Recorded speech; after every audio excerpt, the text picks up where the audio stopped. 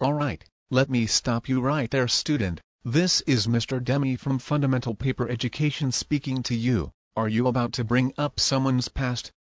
Bro, you do realize they have admitted their wrongdoings, and the past can only be brought up if someone did either pedophilia, or any other crimes like that. Regardless, let's skip this part,